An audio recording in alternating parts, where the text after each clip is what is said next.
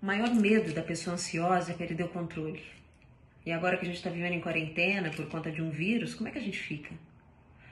Primeiro que quarentena quer dizer 40 dias. Muito tempo trancado em casa, né?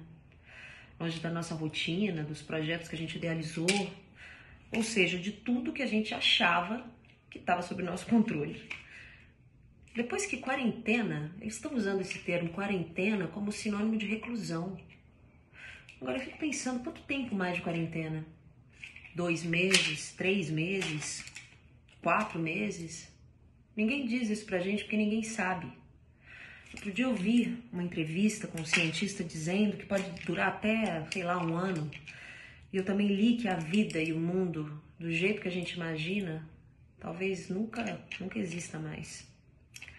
E você que passou a vida inteira planejando, fazendo listas, agendas e projetos para o futuro, você fica como? Você fica mais ansioso.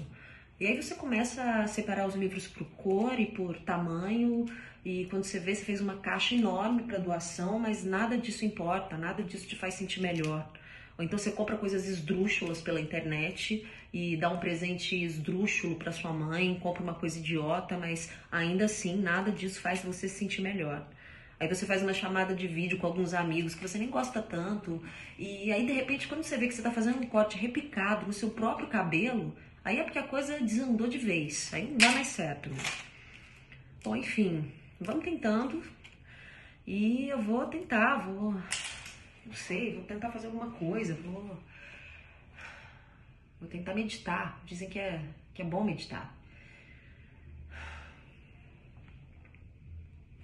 Não consigo nem ficar com a coluna reta, não.